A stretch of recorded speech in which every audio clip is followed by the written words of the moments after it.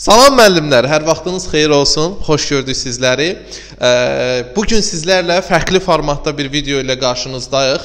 İbtidai siniflər, yaxın əyləşin ibtidai sinif müəllimləri. Bu gün ibtidai sinif ə, deməli müəllimləri üçün hər üç fəndən ə, kurikulum mən Coşqun Namazov, riyaziyyat üzrə Tural müəllim Məmmədov, Azərbaycan dilindən Arzu müəllimə Qurbanova e, sizlərə sualların izahlarına baxacağıq, suallar təqdim edəcəyik. Hər fənn üzrə 5 sual, cəmi 15 sual sizlərə izah edəcəyik və ardıcıllıqla izah edəcəyik. Suallarımız e, deməli Təhsil Nazirliyinin metodik çərçivəsinə uyğun sırf qəbula düşəcək şəkildə bir e, suallardır. Hər bir suallara diqqətli dinləyin, hər bir sualın izahına diqqətli baxın ki, bu suallar e, bu sualların bənzəri, bu sual tipində suallar qəbulda da sizləri, e, yəni bu bu suallarla qəbulda da rastlaşa bilərsiniz bu tip suallarla və bu kimi videolarımızın davamının gəlməsi üçün kanalımıza abunə olmağı, videomuzu bəyənməyi və şərhinizi yazmağı unutmayın. Və bir şad xəbəri də deyim sizlər üçün. İlk dəfə olaraq ə, yəni Namazov Akademiyada ilk dəfə olaraq ibtidai sinif müəllimləri üçün Telegram kanalımızı yaratdıq və həmin bu Telegram kanalımızda da ə, davamlı olaraq, sistemli olaraq MİQ və sertifikasiya hazırlaşan ibtidai sinif müəllimləri üçün elə burada olan müəllimlər hər həftə suallar paylaşılacaq və siz ora Telegram kanalında olan sınaqlarımızı işləyib anındaca səhvinizə, düzünüzə baxa bilərsiniz. Həmin o Telegram kanalımızın linkini də aşağıda rəy bölməsində mən e, deməli rəydə sancaqlayacağam, rəydə yerləşdirəcəm. Rəyə daxil olun elə indi də. Bax rəyə düşün, görəcəksiniz. Gördünüz orada linki. Bax ora toxunun Telegrama keçid edib həmin kanalımıza abunə olmağı, kanalımıza qoşulmağı, Telegram kanalımıza da qoşulmağı unutmayın. Yəni orada Tural müəllim də olacaq, Arzu müəllimə də olacaq, digər Arzu müəlliməmiz riyaziyyatdan da olacaqlar və orada Azərbaycan dili mən də olacağam. Riyaziyyat, kurikulum, ana dili bunlardan sırf ibtidai sinif fənləri üzrə ə, e, suallar paylaşılacaq. Və vaxt itirmədən müəllimlər başlayaq sualımıza. İlk sualımız kurikulumdandır. İcazənizlə mən kurikulum sualını e, izahını başlayaq. Deməli, birinci sual nədir kurikulumdan? Deyir ki, şagird imtahana yaxşı hazırlaşmamışdı və buna görə də e, im imtahandan aşağı bal yığdı. Bundan sonra şagirdə aydın olur ki, yüksək nəticə üçün davamlı çalışmaq lazımdır. Nümunədə hansı məntiqi mühakimədən istifadə olunmuşdur? Baxın, bax şagird imtahana bir bax e, deməli, bir şagirddir. Qardaşım, İmtahana bir dəfə hazırlaşır, gedir aşağı bal toplayır. İki dəfə hazırlaşır, e, bir dəfə hazırlaşmır, yaxşı hazırlaşmır, gedir aşağı bal toplayır. Təzədən bir də gedir, yaxşı hazırlaşmır, aşağı bal toplayır. Təzədən bir də gedir, yaxşı hazırlaşmır, aşağı bal toplayır. Sonra bu uşağa çatır ki, o belə bir söz var, dınq eləyir ki, ay balam bu imtahanda yaxşı bal toplamaq üçün yaxşı hazırlaşmaq lazımdır. Deməli sonda bir qaydaya gəlir, qayda. Bunlar nümunədir, nümunədir. Nümunədən qaydaya sonda bax bir dəfə imtahana hazırlaşıram, gedirəm yaxşı bal toplamıram. İkinci dəfə imtahana hazırlaşıram, gedirəm yaxşı bal toplamıram. Üçüncü dəfə də yaxşı imtahana hazırlaşmıram, gedib yaxşı da bal toplamıram. Sonra mənə çatır ki, hə, bu imtahana yaxşı hazırlaşmaq lazımdır ki, yaxşı da bal toplayasan. Deməli mən xüsusilərdən ümumiyə doğru mühakimə edirəm. Bax bunun adı olur induksiya. Xüsusidən ümumiyə doğru mühakimənin adı olur induksiya. Doğru cavab olacaq birinci sualda C variantı. Amma desəydi ki, şagird misal üçün e, eşitdi ki, müəllimi dedi ki, imtahanda yaxşı bal toplamaq üçün yaxşı hazırlaşmalısan. Bunu eşidən şagird imtahana yaxşı hazırlaşdı. Onda olardı deduksiya. Çünki birinci qayda gəlir. Birinci qaydanı müəllim deyir, şagird o qaydaya əməl eləyir.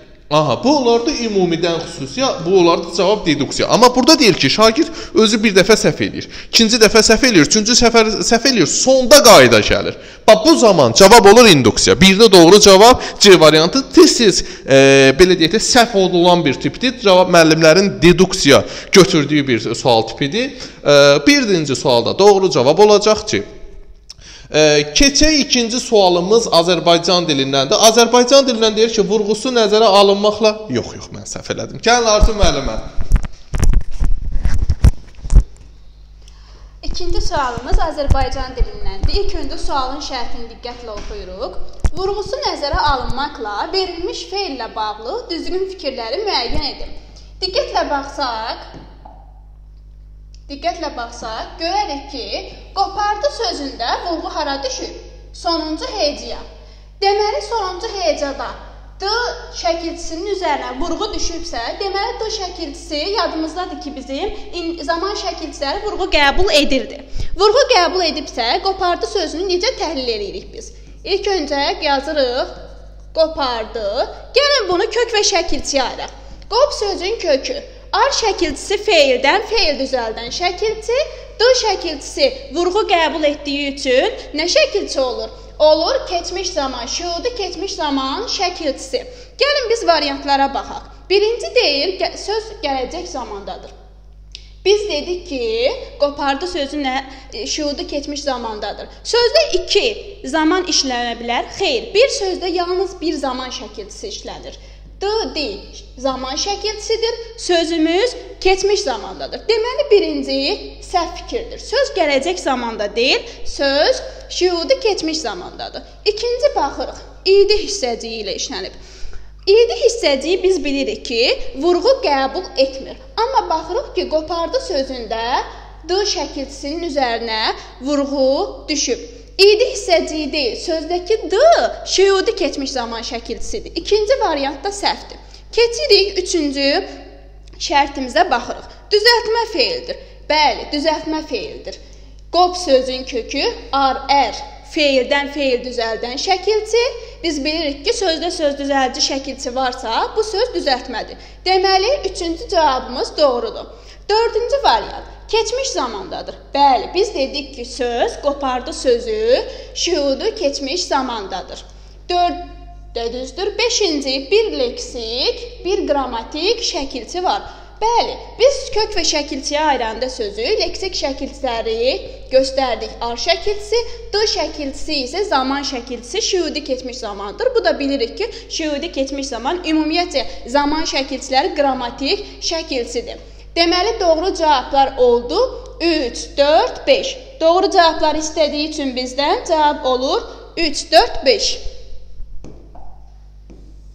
Digər sualımız isə riyaziyyatdandır. Buyursun Tural müəllim. Deməli, üçüncü sual e, riyaziyyat sualıdır. Riyaziyyatdan e, kəsr məsələlərinə aid olan bir sualdır. Ata maaşının 5də 1 e, hissəsini ev kirayəsinə, qalan pulunun 3də 1-ni bank xərclərinə, qalan pulun da 4də 1-ni kommunal xərclərə verir. Onun cibində 300 manat pul qalır. Atanın maaşı neçə manatdır? Deməli müəllimlər, burada biz nə edirik? Burada bax fikir verin, deyir 5də 1-ni ev kirayəsinə qalan pulunun. Burada hər dəfə qalan sözü işləndiyi üçün birinci növbədə biz qalan hissələri tapmalıyıq. Yəni ev kirayəsinə 5də 1-ni xərcləyəndə onun cibində qalır 5də 4 hissə. Bax bu 5də 4-ü ev kirayəsidir. Ondan sonra deməli, qalan pulunun 3də 1-ni bank xərclərinə, 3də 3-dən çıxırıq 3də 1-i, 3də 2 hissə qalır banka aid və deyir qalan e, pulunun da 4də 1-ini kommunal xərclərə verir. Əslində Coşqun müəllim o qədər pul xərcləyir ki, atanın əslində cibində sanlar oynamalıdır. Gör nə qədər pul xərcləyir. Ev kirayəsi, bank. Xərc adam. Hamısını xərcləyir. Yazıq atanın cibində heç nə qalmır. Sanlar oynayır. Deməli 4-də 3-ü də qalır onun kommunal xərclərə gedir. Və atanın indi yekunda qalan pulu 300 manatdır. Düzdürmü? İndi biz burada nə edirik? Hissəsinə görə ədəd tapırıq. Yəni birinci növbədə bax burada da yəni düzgün şəkildə həll etmək lazımdır. Bu 300 manatı bax buradan başlayırıq hissəsinə görə ədəd tapırıq. Yəni 5də 4-ü 300 olan ədəd tapırıq. Birinci nə edirik? Bu 300-ü bölürük 5. Yəni hissəsinə görə ədəd tapanda kəsrin surətinə bölüb məxrəcə vurmalıyıq. 300-ü 4-ə bölüb 5-ə vururuq. O da edir 225. Yəni 300-ü 4-ə böləndə 75 eləyir. 75-i də e, deməli 5-ə vuranda e, deməli bizə verir daha doğrusu 75-i 5-ə vuranda e, deməli bizə verəcək 375 manat. Bura edir 375. Ondan sonra ikinci 375 ədədini artıq buranı hesabladıq. Buranı qurtardıq. Bölüb bu hissəyə keçirik. Yəni 3-də 2 nəzərən 375-i 2-yə bölüb 3-ə vururuq. Aldığımız cavabı da, yəni 3-ə bölüb 4-ə vuracağıq. İndi bu tip suallarda, yəni bax əvvəldən əgər eləsək, əvvəldən eləsək, görəcəksiniz ki, burada hissəsinə görə də tapanda 375 2-yə bölünüb 3-ə vurulmur. Yəni çox adam çaşır. Əvvəlcədən bu hissədən başlayır. Ona görə əgər arxadan başlayıb əvvələ getsəz, onda aldığımız cavab ödəyir. Baxın, bir dənə fikir verin, diqqətlə. Əgər yəni biz bu şəkildə yazsaq, 5-də 5-dən 5-də 1-i yenə çıxdıq, yerdə qaldı 5-də 4. Deməli 4-də 4, 3-də 3-dən çıxırıq 3-də 1-i, qalır 3-də 2. Bu hissəni bildik. Üçüncü 4-də 4-dən çıxdıq, 4-də 1-i 4-də 3. Yəni həmişə yadda saxlayın. Axırdan əvvələ gedin. Çünki çox vaxt müəllimlər əvvəldən axır eləyirlər. Bax gördünüz bayaqçı sualda 375 bölünmədi 2-yə. Əslində alınır ey cavab, sadəcə tamla alınmır. Amma arxadan əvvələ getsəz, yəni sondan əvvələ, bax burdan bura getsəz, yekun cavabınız rahat alınacaq. Gəlin fikir verək. Bax bu 300-ü bölək 3-ə, vuraq 4-ə, eləyir 400 eləyir. Yəni ata elə bil ki, e, axırıncı bunun xərci nə olub atanın? Atanın axırıncı xərci olub kommunala. Yəni bu kommunala xərc eləməmişdən əvvəl atanın cibində 400 manat pul olub. İndi qalxırıq yuxarı. Bax arxadan əvvəl buna alqoritm də deyirlər. İndi qalxırıq yuxarı. 400-ü bu dəfə bölürük 2-yə, yəni hissəsinə görə ədəd tapırıq. Vururuq 3-ə. Eləyir 600 manat. Yəni ata kommunal xərclərə pul xərcləməmişdən əvvəl cibində 600 manat pul var idi. Və qalxdıq ən yuxarı. İlk xərci nə olub? Ev kirayəsi. Ev kirayəsinə pul xərcləməmişdən əvvəl deməli olub cibində pul yenə hissəsinə görə də tapırıq. 600-ü bölürük 4-ə, vururuq 5-ə, o da edir 750. Deməli atanın maaşı 750 manatdır. Doğru cavab B variantıdır. Deməli burada qalan söz olduğu üçün kəsirləri çıxırıq və əvvəldən eləməyin. Əvvəldən eləsəz alınmayacaq cavab. Yəni bölünməyəcək. Arxadan, sondan əvvələ gedin. Burdan başlayın. Bax 3-cü mərhələdən əvvələ gedin. Çünki axırda biz atanın maaşını tapırıq, əvvəlki maaşını. 3-ə bölüb 4-ə vurduq, aldığımız cavabı 2-yə bölüb 3-ə vurduq və yekunda aldığımız cavabı 4-ə bölüb 5-ə vurduq. Aha, növbəti sual kurikulum sualıdır. Coşqun müəllim davam edir. Buyurun. Hə, çox sağ olun Tural müəllim. Deməli, kurikulum sualı maraqlıdır. İş üsullarına aid maraqlı bir sualdır. Deyir ki, daha çox ibtidai sinif şagirdləri arasında tətbiqi məqsədə uyğun hesab olunur. Şagirdlərdə assosiasiya yaratmaq hər hansı bir əşya və hadisəni xüsusiyyətlərini tapmağa xidmət edir. Baxın, daha çox ibtidai sinif şagirdləri arasında keçirilməsi tətbiqi daha məqsədə uyğundur. Bax bu sözü gördünüzsə, daha çox ibtidai sinif arasında.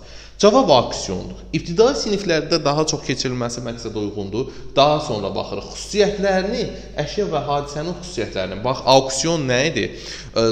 Hərə bir fikir deyirdi, sonuncu fikri söyləyən qalib olurdu. Düz deyil?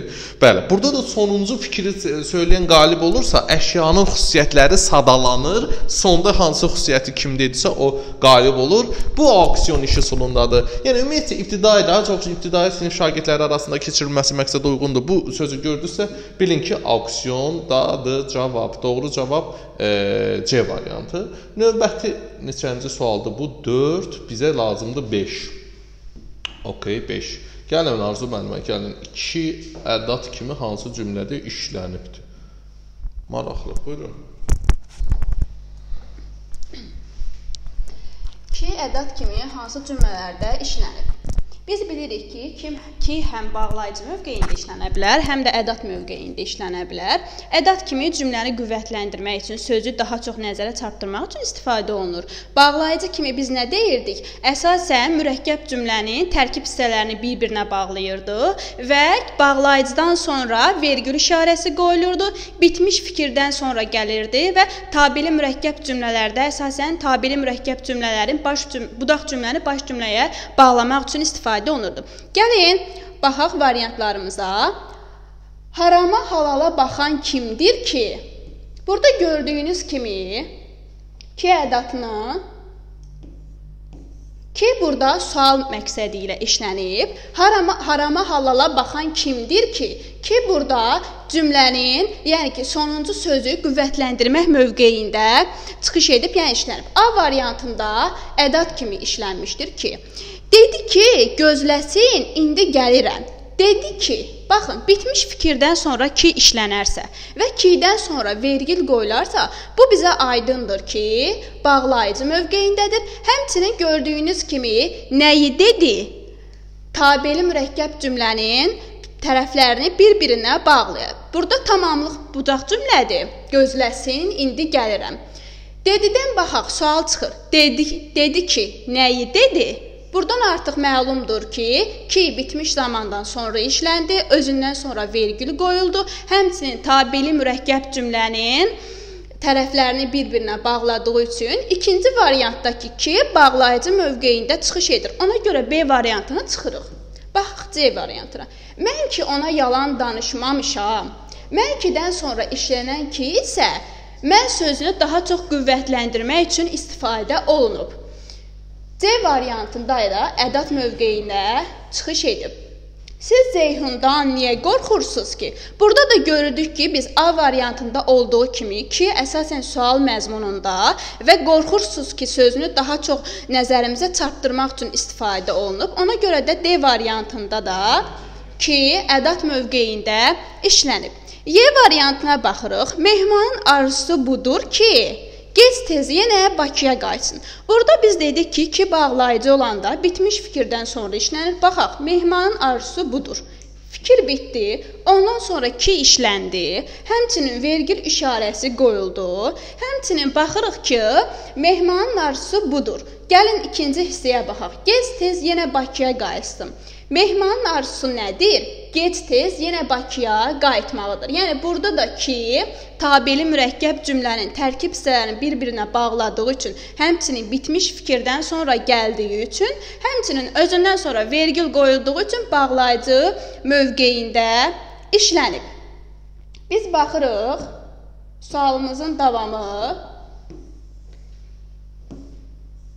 Variantlar burada qeyd olunmayıb. Yəni cavablar cavab necə oldu? Cavab gördüyünüz kimi işarələdik, biz göstərdik. Deməli, A variantı ədat oldu, sonra oldu C variantı, bir də oldu D variantı. A, C, D variantları ədat kimi işlənmişdir. Digərlərində isə ki, bağlayıcı mövqeyindədir. Keçib Tural müəllim riyaziyyat sualı. Bəli, davam edək 6-cı sualla. Deməli, 6-cı sual ədədi orta məsələsidir. A şirkətində olan işçilər B şirkətində olan işçilərdən 3 dəfə çoxdur. A-da olan işçilərin yaşın ədədi ortası 24, B-də isə 28-dir. Bu iki şirkətin yaşın ədədi ortasını tapın. Bax bu məsələ yaş yox, deyərdim ədədi orta məsələsidir. Ədədi orta məsələsinin deməli düsturu var. Ədədi orta deməli, ədədi orta bərabər olur. Ədədi ortanın düsturu ədədi orta bərabər olur cəm bölünsün say. Yəni bəzən çox vaxt ədədi ortada e, cəmi 2-yə bölürlər. Xeyr, cəmi saya bölürük. Burdan da cəm tapanda dəyərli müəllimlər, ədədi ortanı bax saya vururuq. cəm tapanda ədədi ortanı saya vururuq. İndi bizə deyir ki, A şirkətində olan işçilər B-dən 3 dəfə çoxdur. Deməli, A-da olan işçilərimizin sayı 3x-dir, B-də olan işçilərin sayı x-dir. Heç birini bilmiriksə, mətul qəbul edirik. Yəni A-nı A B-dən 3 dəfə çox olduğu üçün A-da olanlar 3x, B-dəkilər x olur. A-da olan işçilərin yaşın ədədi ortası 24-dür. Deməli, əziz müəllimlər, bax, A-da olanların ədədi ortasını bizə verib 24, B-də olanların ədədi ortasını bizə verib 28.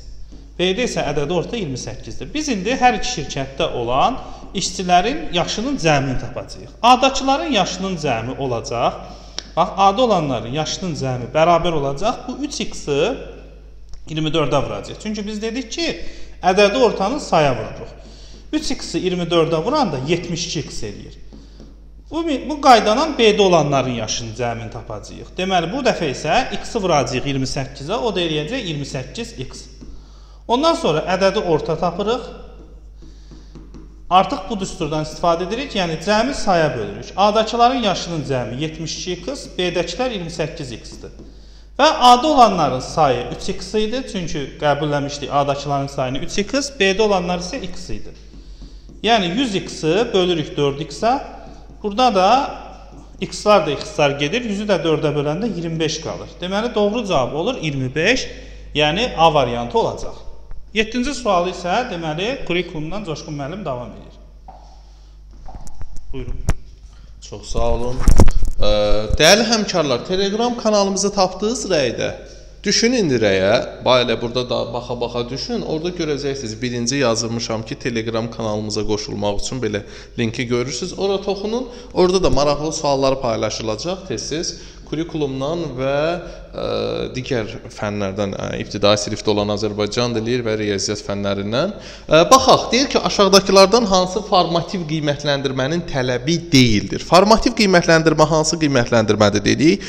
Formativ qiymətləndirmə şagirdləri formalaşdıran yəni formalaşdırıcı qiymətləndirmədir. 1. Şagirdlərə inkişafı üçün yol göstərir. Bəli, formalaşdırıcı qiymətləndirmədirsə, formativ qiymətləndirmə şagirdlərin inkişafı üçün yol göstərməyə bu normaldır. 2. Ə, səmərəli planın ayrılmaz tərkib hissəsidir. Bəli, əziz həmkarlar, formativ qiymətləndirmə səmərəli plan var. Bax, səmərəli planın ayrılmaz hissəsidir. 3 C şagirdlərin necə öyrəndiyinə əsaslanır. Yəni nəyi necə öyrəndiyini öyrənəcəklər, ona əsaslanır. Bəli, formativ qiymətləndirmənin tələbində var bu. Motivasiyanı artırır. Bəli, Çünki şagirdləri inkişaf elətdirdiyi üçün şagirdlərin motivasiyasını, həvəsini artırır. Yeri deyir ki, formativ qiymətləndirmə pedaqoji ustalıq tələb etmir. Bax bu səhvdir. Formativ qiymətləndirmə pedaqoji ustalıq tələb edir. Pedaqoji ustalıq tələb etmir, bu səhvdir. E, hansı formativ qiymətləndirmənin tələbi deyil? Doğru cavab Y variantı pedaqoji ustalıq tələb etmir. Davam edək. E, növbəti e, 8-ci sual Azərbaycan dili e, deməli sualıdır. Buyurun. 8-ci suala baxırıq. Deməli, burada nə tələb olunur bizdən? Sənin biçinin birləşməsində 3 in şəkilçisi işlənib. Həmin şəkilçilər hansı bənddə düzgün izah olunub? Gəlin ilk növbədə hansı cavab düzgündür onu tapaq. İlk növbədə özümüz təhlil edək. Sənin sənin biçinin birləşməsinə bax. İlk növbədə biz bilirik ki, in şəkilçisi həm yelkalın şəkilçisidir. Həmçinin də ikinci şəxsin mənsubi, ikinci şəxsin təkinin mənsubiyyət şəkilçisidir. Həmçinin feildən isim düzəldən şəkilçisidir. Yəni in şəkilçisi amonim şəkilçisidir. Sənin sözünə diqqətlə baxaq. Biz demişdik ki, şəxs əvəzlikləri mənsubiyyət şəkilçisi qəbul edə bilməz. Ona görə biz bilməliyik ki, birinci sözdəki in şəkilçisi mənsubiyyət deyil. A variantına baxırıq. Birinci mənsubiyyət. Bunu çıxdıq A variantını. Birinci sözdə işlənən in şəkilçisi həm də feildən isim düzəldən şəkilçi deyil. Çünki feildən isim düzəldən şəkilçi bilirik ki, feilə artırılmalıdır. Həmçinin söz düzəldici şəkilçi olmalıdır. Burada isə isimə artırılan in şəkilçisi bir yiyəlikal şəkilçisi olur. Yəni ki, həm də əvəzliyə artırılanda bir yiyəlikal şəkilçisi ola bilər. Bir də ki, mənsubiyyət şəkilçisi ola bilər. Yəni ismə aid 2 dənə in şəkilçisi var. Bir mənsubiyyət şəkilçisidir, bir də yiyəlikal şəkilçisidir. Biz də demişik ki, şəxs əvəzliklərinə mənsubiyyət şəkilçisi qəti şəkildə artırılmır. Ona görə bizə aydın olur ki, birinci sözdəki in şəkilçisi mənsubiyyət şəkilçisi yox, hal şəkilçisidir. Deməli B, C, D variantlarında birinci cavab düzdür. Birinci sözdəki hal şəkilçisidir. Baxırıq biçinin sözünə. Biçinin sözündə biz belə qayda demişik ki, sözlərə şəkilçi necə artırılır? Birinci leksik şəkilçi artırılır. İltisaqi dillərdə birinci şəkilçilərdən söz düzəldici şəkilçi artırılır, ikinci isə qrammatik şəkilçi artırılır. Biçinin sözündə bit sözün kökü, bit sözündən nə et feildən in şəkilçisi artırılaraq leksik in şəkilçisi artırılaraq yaranıb isim Leksik şəkilçi olduğu üçün də bizdə aydın olur ki, ikinci in şəkilçisi feildən isim düzəldən şəkilçidir. Deməli B variantında da yazılıb feildən isim düzəldən şəkilçi. İkinci də doğrudur. Digər in şəkilçisi isə biz bilirik ki, yəlik hal işlənibsə sözün əvvəlində. Ondan sonra gələn, yəli kallı sözdən sonra gələn söz mənsubiyyət şəkilçili olur. Biz bu in şəkilçisini bilməliyik ki, mənsubiyyət şəkilçisidir, yəni sənə aiddir. Yəni birinci sözə aid olduğu üçün ikinci sözdəki in şəkilçisi, yəni ikinci in şəkilçisi isə qrammatik şəkilçi olaraq mənsubiyyət şəkilçisidir. Birinci sözdəki in hal şəkilçisi oldu, ikinci sözdəki birinci in şəkilçisi feildən isim düzəldən şəkilçi, digər in şəkilçisi mənsubiyyət şəkilçisi. Deməli doğru variant oldu B variantı. Digər sualımız 9-cu sualı isə Tural bəy izah edəcək. 9-cu sual, deməli, riyaziyyat sualı, növbəti suala baxırıq.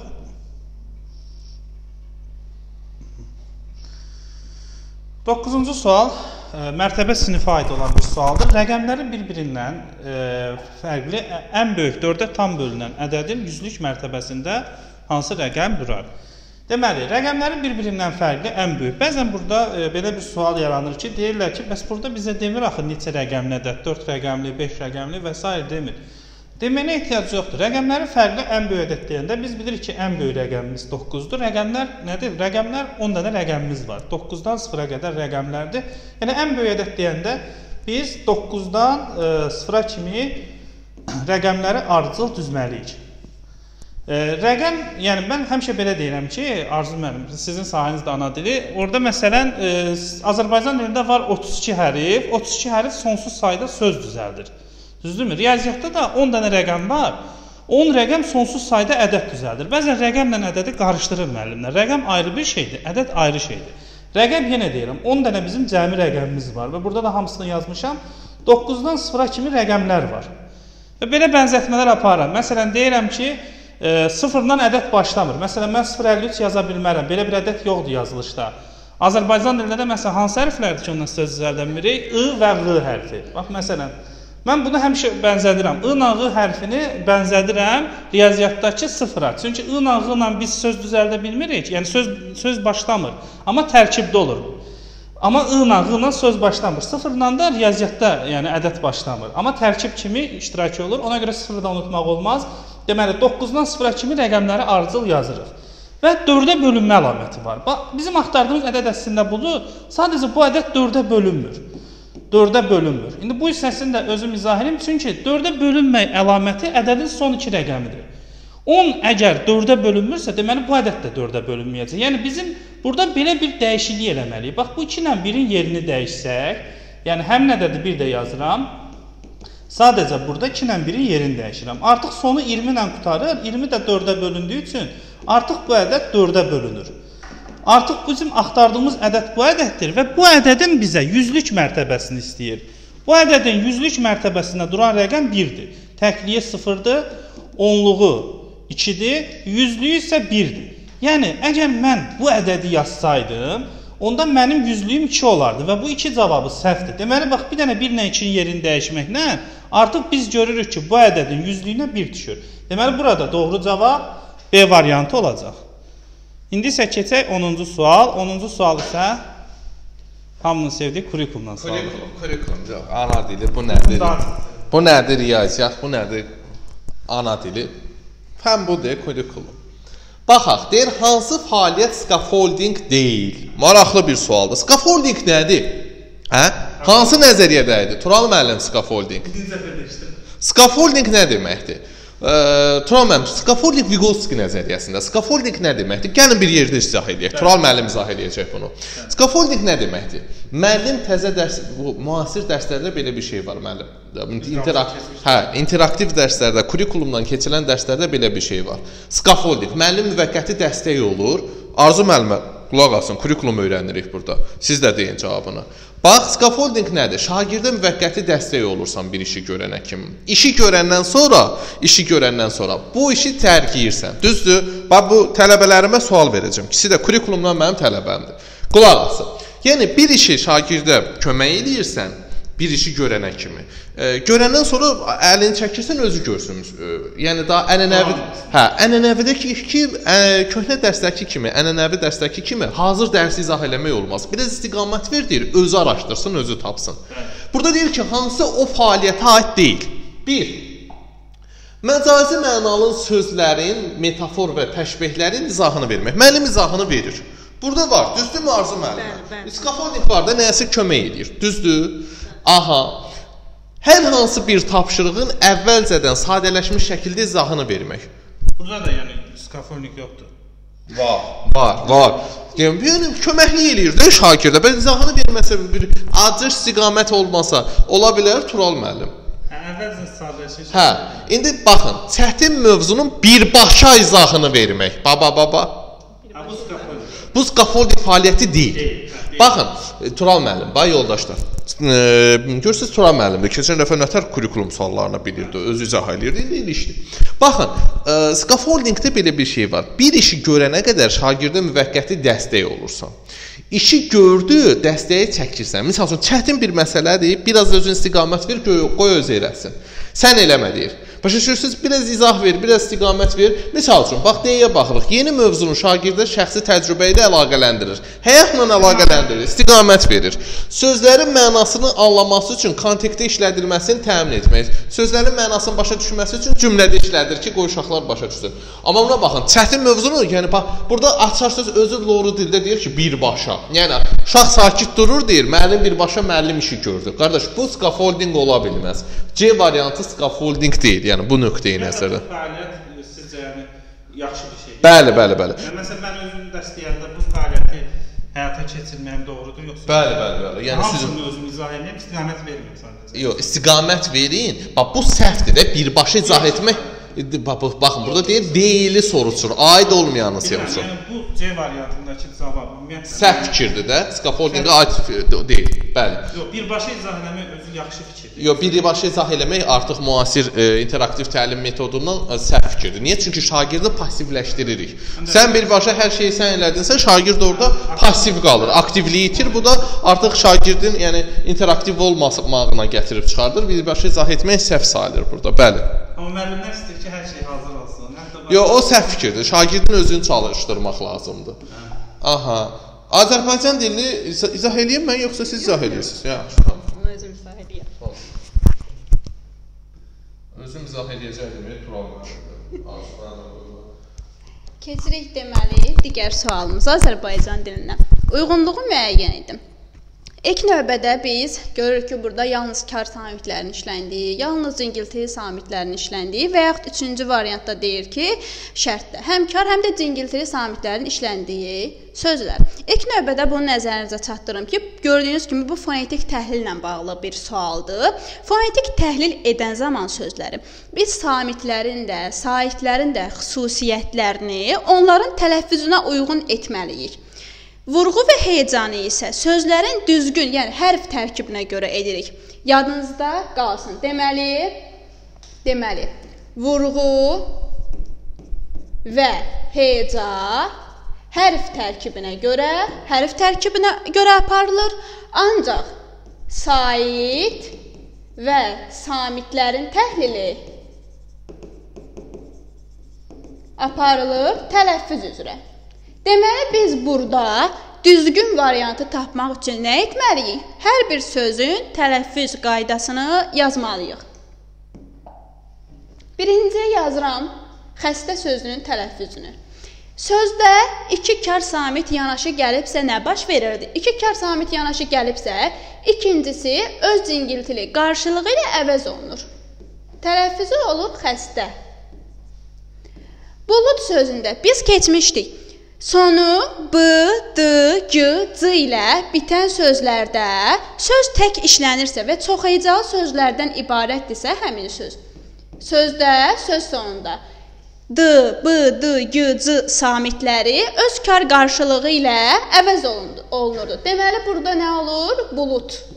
Bulut kimi tələffüz olunur. Ağac sözünə baxaq. Bayaqki qayda söz sonunda b, d, g, c samitlərinin, yəni bu samitlərin bəzi sözlər var idi ki, bunlarda bu samitlər işlənəndə öz kar qarşılığı ilə əvəz olunurdu. Burada da yenə ağac sözündə c, c ilə əvəz olunur. B variantının yazaq tələffüz qaydasını. I ilə A birləşməsində iki sait I və A saiti yanaşı gələndə söz əvvəlində və yaxud söz ortasında, söz ə, ortasında yanaşı gələndə nə baş verirdi? I ilə A-nın arasına y samiti daxil olur. Olur iyanə. Ailə sözü də A ilə i yanaşı gəldiyi üçün tələffüz qaydasında y daxil olur sözə. Elegiya. Elegiya sözü isə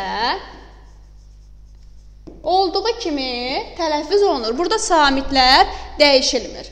Digər sözümüz fasad sözü. Bayaqki sonu d ilə bitən söz kimi fasad sözündə də tələffüz qaydasında d t-ya keçirdi. Etika sözündə tələffüz qaydası, baxın, burada etika sözündə k-nı yazdım, yəni k kimi k, k səsini verir. Biz deyirdik ki, ərəb Avropa, Rus Avropa mənşəli sözlərdə söz ortasında k samiti, k samiti k səsini verirdi. Burada da üzərində işarəsini qoydum. Etika. Yazıram digər sözü. Pafos olduğu kimi tələffüz olunur. Digər sözlərə baxaq. 8 2 2 samit, 2 eyni cinsli samit söz ortasında gələndə nə baş verirdi? İkinci samit öz cingiltili qarşılığı ilə əvəz olunurdu. Digər bir Digər bir sözə baxırıq. Ötkəm sözündə də iki kar samit yanaşı gəlib, iki kar samit yanaşı gələndə ikinci samit öz cingiltili qarşılığı ilə əvəz olunur. Olur ötkəm. Ötkəm şəklində. Palçıq sözündə də biz deyirdik ki, çox hecalı sözlərdə söz sonunda q, x-ya keçir. Palçıq sözündə də tələffüzü necə olur? Palçıq şəklində. E, digər bir sözlərdə digərlərini yazaq. İndi 8 sözünü bildik. Ötkəm sözündə g-ya keçdi k, palçıq sözündə q, x-ya keçdi. Məzmun olduğu kimi qalır. Dülgər olduğu kimi qalır.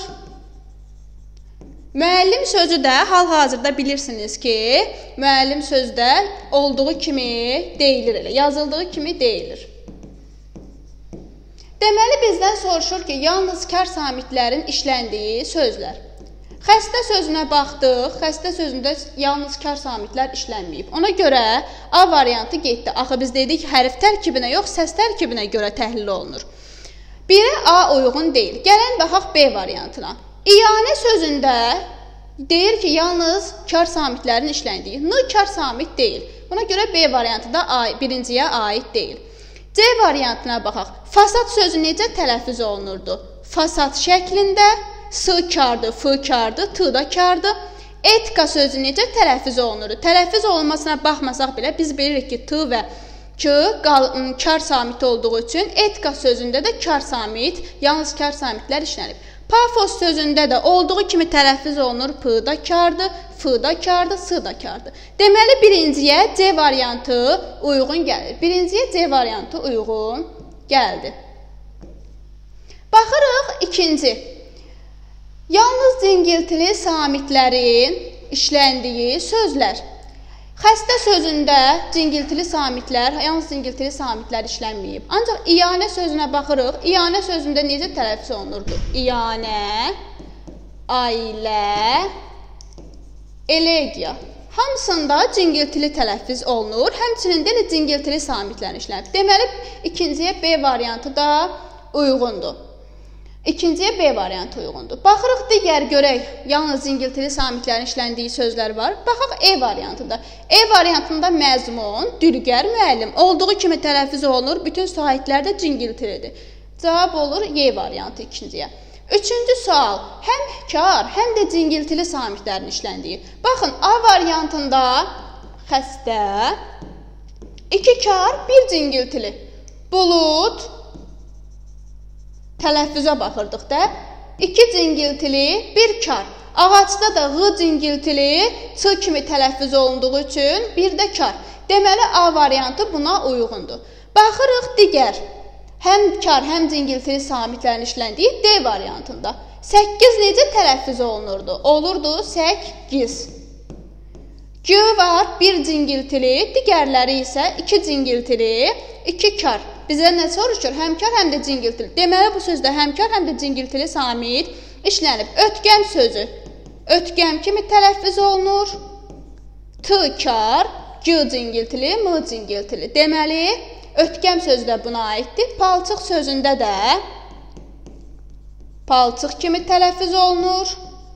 L cingiltili, digər samitlər isə kardır. Deməli, bu sözlərdə həm kar, həm də cingiltili samitlər işlənib. Üçüncüdə də oldu cavabdır. Deməli hansı cavabımız uyğun gəlir? D variantı düzgün cavabdır. Yenidən yadınızda qalsın. Sözlərin samitlərinin və yaxud saitlərin xüsusiyyətlərini soruşursa bizdən, biz onların tələffüz qaydasına baxırıq. Əgər bizdən vurğu və heyecanı soruşsaydı, vurğu və heyecan isə yazılış üzərində aparılır. Keçirik 12-ci suala. 12-ci sualı isə Tural müəllim izah edəcək. Aha, 12-ci sual isə e, dəyərli müəllimlər kater məsələlərindən bağlıdır. E, Katerlə bağlı kanalda e, YouTube kanalımızda video da var. Geniş şəkildə izah vermişəm. Burada isə katerə aid belə bir maraqlı sualdır. Katerin durğun suda sürəti 20 km/saatdır. O axınla 3 saat, axına qarşı 2 saat, göldə isə 4 saat yolda olur. Göldə isə 4 saat yolda olur. Və e, cəmi deyir ki, 182 km yol gedib çayın axma sürətini tapın. Deməli dəyərli müəllimlər, bizə katerin sürətini verib. Katerin sürəti nə qədərdir? Katerin sürəti 20-dir. Çayın sürətini bizdən axırda istəyir. Çayın sürətini bilmiriksə nə qəbul edirik? Çayın sürətini x qəbul edirik. İndi katerdə 3 cür hərəkət var. Bir axın var, bir axına qarşı, bir də göl. Burada yəni hər üçündən istifadə olunub. Axın sözündə biz bilirik ki, katerin sürəti artır. Yəni axında biz katerlə çayı toplamalıyıq. 20 ilə x-i toplamalıyıq. Və axınla neçə saat yol gedib? 3 saat. Yəni 20 üstəgəl x-i 3-ə vurmalıyıq. Sonra keçirik növbəti axına qarşı. Axına qarşıda isə qarşı sözü nə deməkdir? Qarşı sözü əks təsir deməkdir. Yəni e, katerə çay maneçilik törədir. Ona görə 20-dən x-i çıxırıq və vururuq 2 saat gedib 2-yə. İndi gəlirik gölə. Göldə isə çayın sürəti nəzərə alınmır. Göldə birbaşa katerin sürəti olur. Ona görə göldə artıq bu x-i nəzərə almırıq sayı. Ona görə birbaşa 20-ni, yəni katerin sürətini 20-ni vururuq 4-ə. O da edir 80 kilometr. İndi biz bunları hamısını vuraq açaq, deməli 20 üstəgəl x, burada yazıram artıq tənliyi açıq şəkildə. 20 üstəgələ x vurulsun 3, üstəgələk axına qarşı da 20 çıxaq x vurulsun 2, üstəgələk bu da elədi 80 kilometr və cəmi 182 kilometr yol gedib. İndi tənliyi sadələşdirək, yəni vuraq açaq. 20-ni 3-ə vuranda 60, üstə gələk 3x, 20-ni 2-yə vuranda 40, çıxılsın 2x, üstə gələk 80, bərabər 182. İndi misalı sadələşdirək. Ədədləri bir hesablayaq. 60-ın üstünə 40 gələndə 100, 100-ün üstünə 80 gələndə 180. Burada da 3x-dan 2x çıxanda 1x qalır, yəni x qalır. 100 üstə 180 üstə gələ x bərabər 182. Buradan da x-in qiymətini taparıq. 182-dən 180-ı çıxarıq. Deməli 2 cavabını alarıq. Testimizin doğru cavabı B variantıdır. 13-cü sual isə deməli Coşqun müəllim davam edir kurikulum sualına. Buyurun. Hə, çox sağ olun Tural müəllim. Keçək 13-cü sual. Dərsdə Əhməd Cavadın Göygöl şeiri tədris edir. Tədris edir dərsdə Əhməd Cavadın Göygöl şeiri. Bax, müəllimlər, sizlə bərabər Arzu müəllimdən Tural müəllimə də sual verirəm. Müəllimlər, dərsdə müəllim Əhməd Cavadın Göygöl şeirini keçdi. Tamam. Müəllim şagirdlərdən şairin Göygölün gözəlliyinə heyranlığını hansı misrada daha təsirli ifadə etmişdir deyə soruşur. Bu idrak taksonomiyasının hansı mərhələsinə aiddir? A. Tətbiq etmək, B. Təhlil etmək, C. Anlamaq, D. Xatırlamaq, Y. Dəyərləndirmək. Buyurun, bax şeiri keçirəm. Bax bir dənə şeirdir də, misal üçün 4 kupletdən e, misal üçün də e, kupletlərdir. E, misal üçün 4 misralıq kupletlərdir, düzdür? Hə 4 misralıq kupletlərdir. Deyirəm ki, burada bu şeirin hansı misralarında, bir dənə, iki dənə hansı misrada daha təsirli fikrini e, Tural müəllim deyir ki, təhlil. Arzu müəllimə sizin variantınız. Təhlil, təhlil deyirlər hamısı. Bəli, doğru cavab təhlil deməkdir. Niyə? Çünki mən sizə açar söz də demişdim. Ən təsirli yoldaş. Deməli, bir dənə bax məntiqlə fikirləşin ha müəllimlər. Bu məntiqi belədir. Bu uşaq bu şeirin içində ən təsirli misranı tapmaq üçün başdan ayağa bir dəfə oxumalı, anlamalı, onu başdan ayağa araşdırıb təhlil eləməlidir. Cavab doğru cavab B təhlil eləmə. Ən təsirli iki misra, ən təsirli deyirsə iki misra. Buyurun Tural müəllim. Anlamaq orada çaşdıra bilərsən. Ya anlamaq desək ki, misal üçün, bax anlamaq belə ola bilər. E, Deyəsi, mən testin bax bunu anlamaq versiyası necə ola bilər? Müəllim şagirdlərə Əhməd Cavadın Göygöl şeirini tədris elədi, keçdi. Daha sonra şagirdlərə sual verdi ki, Əhməd Cavad Göygöl şeirində nə demək istəyirdi? Hə, nəyi təsəvvür edirdi və bu başa düşüb uşaq bu cavab verir. Amma şeirin ən təsirli iki misrasını deyirsə deyir. Ən təsirli iki misra. Burada araşdırır, təhlil eləyir. Ay anlamaqdan öncə keçir o biri məsələyə, təhlil mərhələsinə. Aydındır Arzu müəllimə? Oldu. Gəlin yazın. Davam edeyim. 14-cü sual. Bunları axırda ikisini də kurikulum müəllimi eləyəcək. Deməli, sualımız burada necədir? Hansı nümunədəki fərqləndirilmiş şəkilçini başqa bir şəkilçi ilə əvəz etmək olmur? Əslində burada fərqləndirilmiş halda idi, yəni qara rəngli yazılmışdı. Yəqin ki, burada texniki problemlərə görə sualda, yəni ki, şəkilçi eyni cür yazıb. Gəlin biz baxaq. Deməli, Elman əmi birinci bu sözə baxmalıyıq. Birinci naəlac. İkinci cümlədə təvazökarlıq. C variantında sarımtıl, D variantında yazını yazmamış, yazmamış sözündə, E variantında isə bivəfa. Burada bizdən nə istəyir? Bizdən istədiyi odur ki, hansı sözdə şəkilçini başqa bir şəkilçi qoya bilərik, ancaq söz cümlənin mənası itməyə bilər. Biz bilirik ki, sözlərdə sinonimlik olduğu kimi, o leksik sinonimlikdir. Şəkilçilər arasında da sinonimlik, amonimlik, hətta antonimlik də ola bilər. Yəni ki, biz bu şəkilçilərin sinonimini tapmalıyıq. Görək hansı şəkilçinin burada sinonimi yoxdur. Birinci baxırıq, Elman əmi naəlac geri qayıtdı. Baxın, na sözünün şəkilçidir. Bu şəkilçi əks məna bildirir də. Yəni ki, əlacsız geri qayıtdı. Biz bunu belə yaza bilərik. Nailacın əvəzinə əlacsız geri qayıtdı yaza bilərik. Na şəkilçisinin sinonim şəkilçisi sız şəkilçisidir.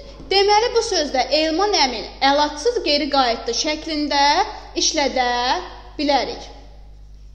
Burada uyğunluq gəlir. Yəni ki, bu cavab A variantı deyil. Bizdən tələb olunan nədir? Olmayanı tapmalıyıq. Hansı cümlədə, hansı sözün, yəni ki, bu elə şəkilçi olmalıdır ki, onun sinonimi olmasın. Gəlin baxaq C variantına. O bu gün sarımtıl rəngli pencəyini geyinmişdi. Sarımtıl sözündə görürük ki, biz azaltma dərəcəsindədir. Imtıl şəkilçisi. Imtıl şəkilçisinin yerinə biz digər azaltma sinonim şəkilçi ımtıraq da işlədə bilərik. Deyə bilərik ki, o bu gün sarımtıraq rəngli pencəyini geyinmişdi. Keçirik D variantına. Yazını yazmamış, otağından çıxma. Yazını yazmamış. Burada mamış şəkilçisi feili bağlama şəkilçisidir və burada şərt qoyur. Yəni şərt qoyur ki, yazını yazmamış otağından çıxma. Biz bunu belə işlədə bilərik də. Yazını yazmadan madan mədən şəkilçisi var ki, bu şəkilçi mamış şəkilçisinin sinonimidir. Yaza bilərik ki, yazını yazmadan otağından çıxma. Deməli burada da bu şəkilçinin sinonimi işlənə bilər. Bevəfa sözündə bir sözünün şəkilçisidir və vəfasız deməkdir. B-nin sinonim şəkilçisi sız şəkilçisidir. İkisi də bir-birinə uyğunluq təşkil edir. Sözlərdə yəni ki, bir şəkilçisini çıxıb biz vəfasız insandan yoldaşlıq gözləmə. Bu şəkildə işlədə bilərik. Deməli cavab B variantıdır ki, təvəzzökarlıq sözündə lıq lıq sifətə artırılaraq burada mücərrəd mənalı isim düzəldir. Bu şəkilçinin sinonimi yoxdur. Yəni siz burada cavabı tapmaq üçün ilk öncə hansı şəkilçini digər bir öz sinonimi ilə əvəz edə bilərik. Bunu tapmalıyıq. Bütün şəkilçilərin gördüyünüz kimi sinonimi olduğu üçün heç bir məna itmədən sözdə şəkilçini dəyişə bilərik. Ancaq təvəzzökarlıq sözündə isə lıq şəkilçisinin amonim belə deyim də sinonimi olmadığı üçün, mücərrəd mənalı isim yaratdığı üçün, bu şəkilçinin sinonimi olmadığı üçün bu şəkilçini başqa bir şəkilçi ilə əvəz edə bilmirik. Cavabımız B variantıdır. Keçirik sonuncu sualımıza. Sonuncu sualı isə Tural müəllim izah edəcək. Bəli, sonuncu sual e, deməli e, riyaziyyatda həndəsə ilə bağlıdır. Biz bilirik ki, imtahanda həndəsədən də suallar düşür. Yəni həndəsəni də unutmaq olmaz. Belə bir sualdır. Düzbucaqlının daxilinə hər birinin radiusu 5 sm olmaqla bir-birinə toxunan, yəni konsentrik iki çevrə çəkilər. Bu düzbucaqlının e, perimetri neçə santimetrə bərabərdir? Aha, bu düzbucaqlının perimetri neçə santimetrə bərabərdir? Deməli, biz əvvəlcə düzbucaqlımızın biz əvvəlcə düzbucaqlımızın şəklini çəkək. Burada bizə nə deyirsə, ona əməl edək, düzbucaqlı çəkək. Və deyir ki, e, bir-birinə toxunan iki çevrə çəkilər. Elə çevrə çəkək ki, bu çevrələr bir-birinə toxunsunlar. Bu şəkildə çəkirik. Və deyir ki, e, bu düzbucaq radiusunu da bizə verib 5 sm. Artıq radius. Biz bilirik ki, radius çevrənin mərkəzindən keçən diametrin yarısıdır. Radius 5 sm-dirsə, o zaman belə çıxır ki, bu çevrələrdən birinin diametri 5 vurulsun 2 10 sm-dir. İndi digər çevrənin də tamamlayaq. Radius 5 sm-dirsə, o zaman diametr olur 10 sm. Yəni digər çevrənin də orada radiuslar bir-birinə bərabərdir. 10 sm olur. Onda belə çıxır ki, bu düzbucaqlının uzunluğu olacaq 10 sm bura, 10 da bura. Yəni ümumi düzbucaqlının uzunluğu olacaq 10 üstəgəl 10, 20 sm. Yəni belə də yadda saxlaya bilərsiniz ki, düzbucaqlının daxilinə çevrə çəkəndə düzbucaqlının uzunluğu Bu çevrələrin diametrlərinin cəminə bərabər olur. D diametri göstərir. Yəni 20 10 üstəgəl 10 20 sm bərabər olur. İndi qaldı düzbucaqlının enini tapmaq. Yadda saxlayın. Düzbucaqlının enini tapanda bu düzbucaqlının eni çevrələrdən birinin radiusuna bərabər olur. Bax, radiusu buradan da keçirə bilərik də, düzdür? E diametrinə bərabər olur. Bax, diametri buradan da, mərkəzdən buradan keçirə bilərik. Bu diametr biz də bilirik ki, çevrələrdə diametrlər bərabərdir. Onda bax bura olar 10 sm, onda bura da 10 sm olar. Aydındırmı? Yəni düzbucaqlının eni bir dənə diametrə bərabər olur. 2 dənəsinə yox. Yəni 10 sm olur. Və biz buradan perimetri tapa bilərik artıq. Düzbucaqlının perimetri 2 vurulsun A üstə gələk B ilə tapılır. Yəni 2-ni vuracağıq 20 ilə onun cəminə, yəni 30-a vuracağıq, o da eləyəcək 60 sm. Deməli doğru cavab olacaq C variantı.